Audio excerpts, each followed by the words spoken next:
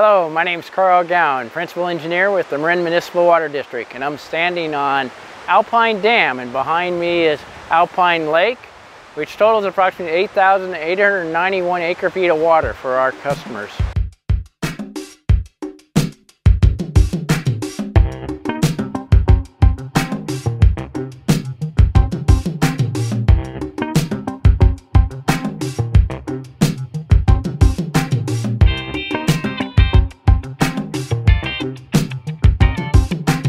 Alpine Dam is one of the seven district dams. All of them were recently inspected. All of them are in good condition and the spillways are in good condition. The district manages seven reservoirs to capture and store the water for our customers. Approximately 75% of the water comes from five reservoirs which are located off of Mount Tam and two reservoirs that are in West Marin. The district has a very comprehensive dam safety program. This includes monitoring, inspection and maintenance, and emergency preparedness and response.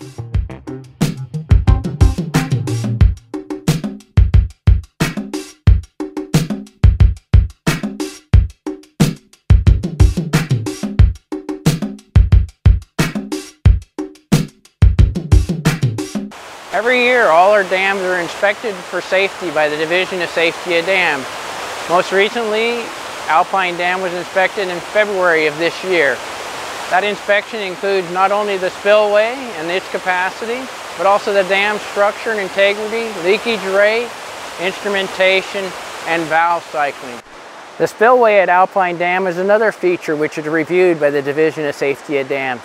This particular spillway has a capacity of 9,770 cubic feet per second as compared to approximately 9,500 cubic feet per second in a storm that occurs once in 170,000 years.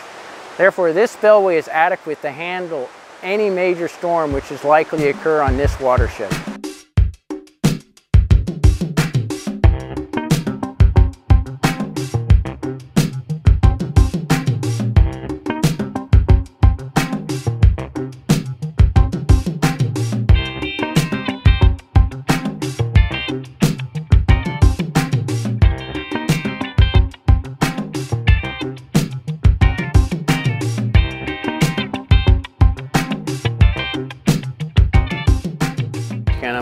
Standing before Nicasio Reservoir, which was formed when Seeger Dam was built in 1960.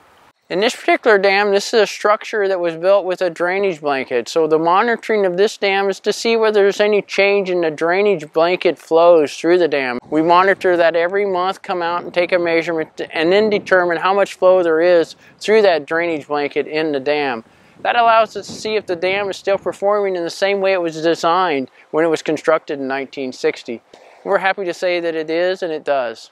At Soulajule Dam, there are monuments along the axis across the top of the dam that allow us to see whether there's any vertical or horizontal movement. The survey between the two benchmarks, which are at either end of the dam, are used to determine whether our monuments on the dam have moved. So you're able to take a line between the two endpoints and determine whether those midpoints have changed in location over time. That survey occurs twice a year by the district and it also occurs after any seismic event.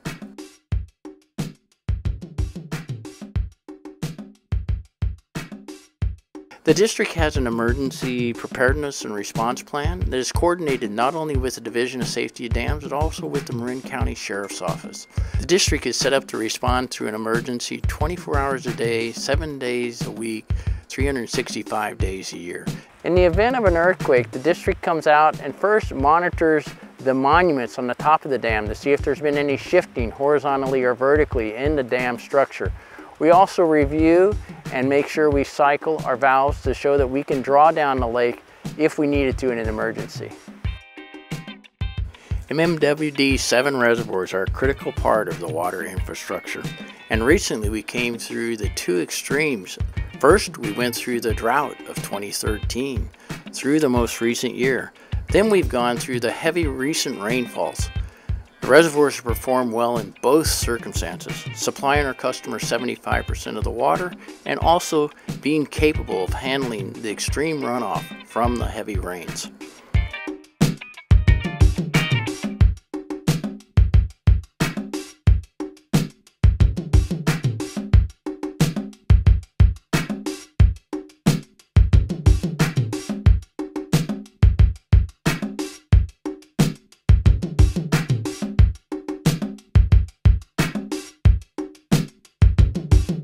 To summarize, the most recent results of the recent inspections completed by the Division of Safety of Dams in February this year is the dams and spillways are in good condition.